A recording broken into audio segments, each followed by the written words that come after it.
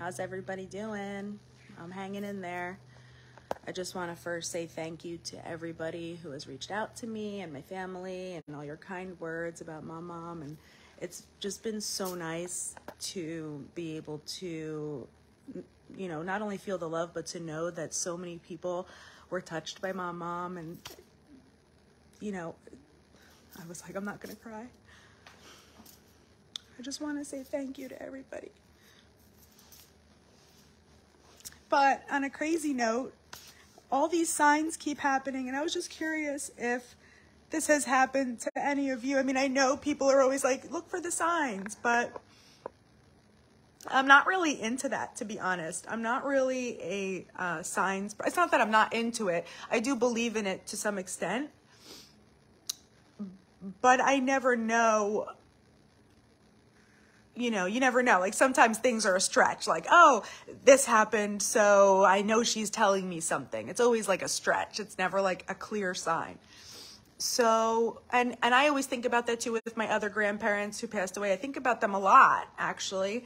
And I'm always like, I wish my grandmother, my grandfather would send me a sign, but I never know what that sign is. But I do think about them, but I never really see a sign. Or even my grandfather, even Baba, we had a very close relationship and there are like little things, you know, throughout the year that I see, and I'm like, okay, that's a sign, but nothing like super clear, let's say.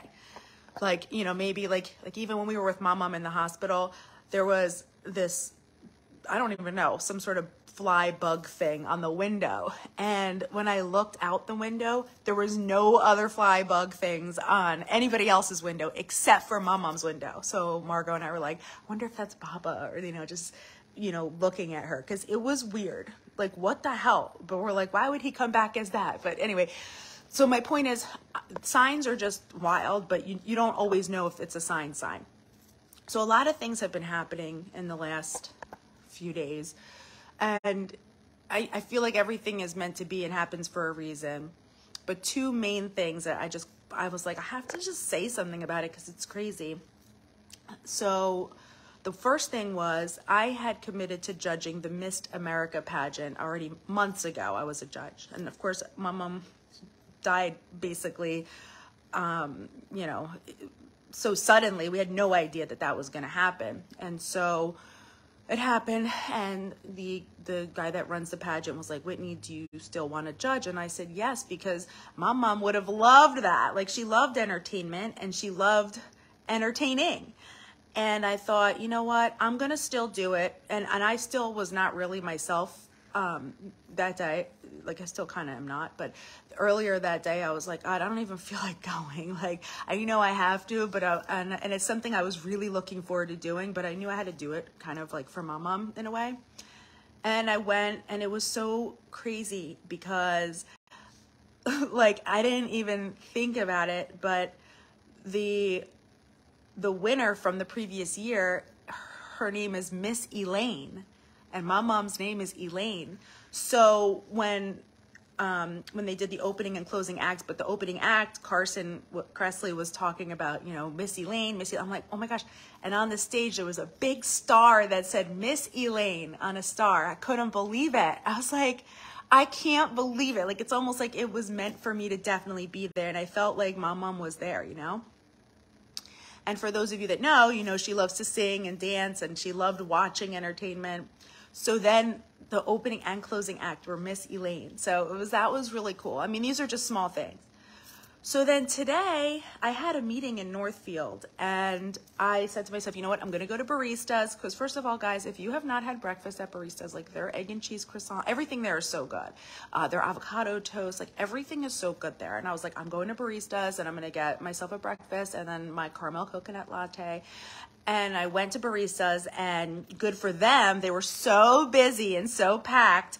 And I'm just, and normally I don't even care. I'll just wait and like sit somewhere. But today I was like, I don't just don't feel like it. I'm like, I just like, I'm not in the mood to like sit. I wanted to, like, part of me wanted to, part of me didn't.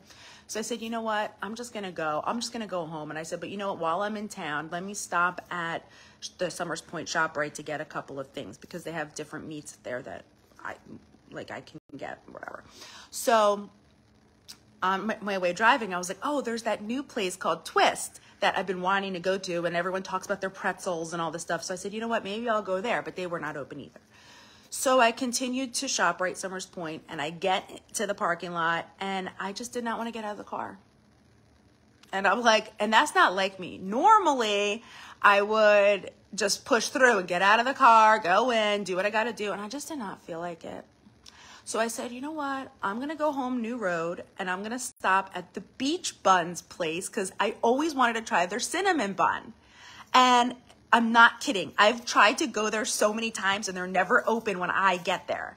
And it's either like they just closed or they're not open that day. So I'm like, whatever, dude. I'm gonna freaking go there and try a cinnamon bun if it's the last thing I do. So I said, you know what? I'm gonna go there. So I drive down New Road and I get to the cinnamon bun place and I order a cinnamon bun and a couple other things that I just hid from Mark, but so hopefully he doesn't see them.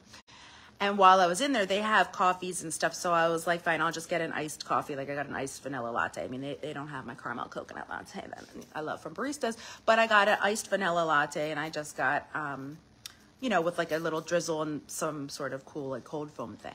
So the woman hands me my iced coffee and the cinnamon bun. She warmed it up for me. It was banging, by the way, banging cinnamon bun. And she goes, you know what? Let me give you a coffee sleeve for your coffee. Now, normally I would think a coffee sleeve would go with a hot coffee. I mean, I guess you could have it for both, but I was like, okay. She literally hands me a coffee sleeve. Actually, I can turn this around, hopefully. Look what it says. Hold on. Literally, I can't even, I can't, can't even believe this. Look what the, and she not only hands it to me, like, but she turns it towards me. Look what the coffee sleeve says. It literally says, hey, good looking. Like, what are the chances? And you guys know, if you know my mom, you know that's her song. Hey, good looking, what you got cooking? How about cooking something up with me? We sang that, you guys heard us sing it a million times. Like, that is literally crazy. Talk about a sign. Like, I just found it, just could not believe it. So anyway, I just had to share that with everybody. And I even told Mark because there's other things that have been happening too with certain numbers. And uh, and it's been weird. And Mark's like, yeah, some of those were a stretch, but this is like a sign. I'm like, thank you. And even Mark said that. So I'm like, okay.